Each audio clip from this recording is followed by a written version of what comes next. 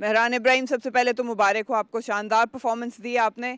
इससे पहले first class में सिर्फ़ तीन ओवर्स किए थे और आज पाँच विकटें हासिल की। कैसे सम अप करेंगे अपनी परफॉर्मेंस को? बिसमीम पहले तो मैं अल्लाह ताला का शुक्र अदा करता हूँ, जिन्होंने मेरे पे पाँच आउट करवाए। और वाकई मैंने पहले तीन ओवर ही किए थे, लेकिन कल भी आप देखेंगे तो मैंने आए थे, दो ओवर के लिए आया था। लेकिन कप्तान ने मुझे आज ये प्लान दिया कि हमारे एक, जो senior bowler, test cricketer Sajid, वो एक तरफ़ से बॉल करते करते थोड़ा सा उसको रेस्ट देना था।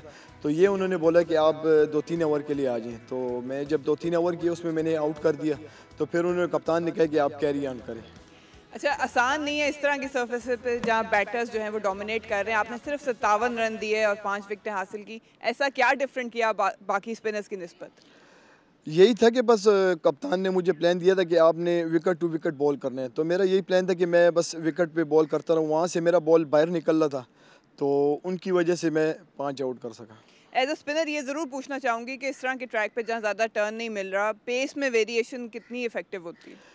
यही था कि मतलब टारगेट पे बॉल कर रहा था पेस मैंने थोड़ी सी तेज़ की जिसकी वजह से बॉल मेरा बाहर निकल रहा था। तो वो जो मेन जो हमारे वो थे बैट्समैन जो खेल रहे थे उनके उमर अकमल उनको मैंने जो बॉल किया वो ब्रेक खेलने चले गए बॉल जिधर सीधा रह गया तो वो लेग भी फोर हो गई और इन पाँचों विकेटों में से सबसे ज़्यादा विकेट हासिल करने की खुशी किसकी थी?